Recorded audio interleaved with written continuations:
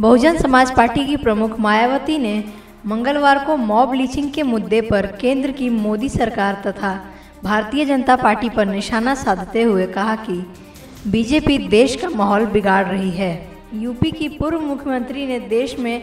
Mob leaching की बढ़ती घटनाओं के लिए सीधे तौर पर बीजेपी और उनके कार्यकर्ताओं को जिम्मेदार ठहराया। उन्होंने अलवर घटना की निंदा करते हुए कहा कि बीजेपी सरकार इस पर कोई कार्रवाई नहीं करेगी। दरवी हिंसक भीड़ द्वारा देश में आए दिन निर्देशों की, आए दिन निर्दोष लोगों की हत्या करने की खुली छूट देकर अपने देश में लोकतंत्र व कानून के राज को अब भीड़ तंत्र में बदलकर लोगों के जान माल को अति सस्ता व अति असुरक्षित करने के अभिशाप के लिए बीजेपी की वर्तमान केंद्र व खासकर बीजेपी शासित राज्य सरकारों को देश के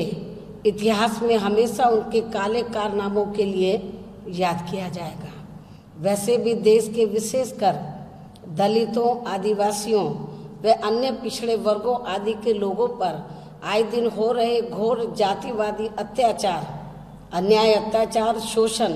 व हर स्तर पर उनके साथ किए जा रहे भेदभाव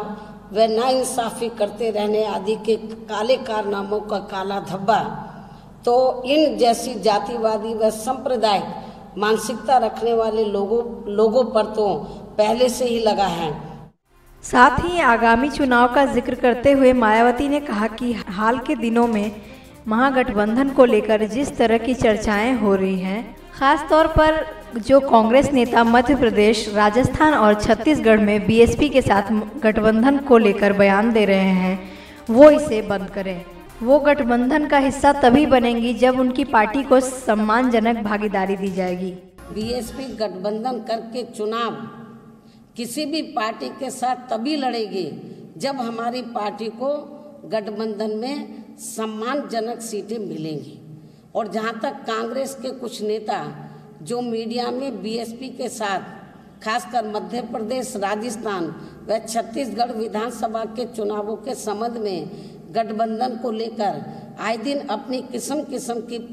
प्रतिक्रियाएँ दे रहे हैं तो उनको हमारी पार्टी का ये स्पष्ट कहना है कि बीएसपी इन प्रदेशों में भी कांग्रेस पार्टी के साथ तभी चुनाव, तभी गठबंधन करके चुनाव लड़ेगी जब हमारी पार्टी को यह सम्मानजनक सीटें मिलेंगी। मायावती ने इस बात के भी संकेत दिए कि बीएसपी इस साल के अंत में होने वाले राजस्थान, मध्य प्रदेश और छत्तीसगढ़ चुनाव में अकेले दम पर सभी सीटों पर चुनाव लड़ने की पूरी तैयारी कर रही है।